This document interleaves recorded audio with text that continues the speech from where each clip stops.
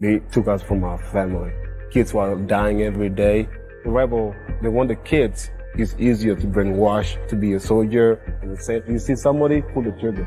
In the middle of the night, this kid picked me up. And that's what my race began. We just, we just started running, running for our lives. There was something called Olympics on TV.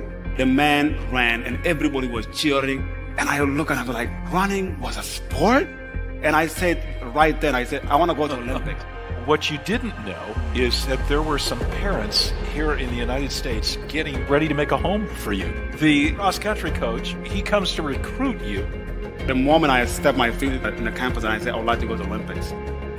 And I say, everything is possible. Praise the Lord, like do it! He wins! He gets the double! This is what you are running. Remember, you used to run away from the bullets.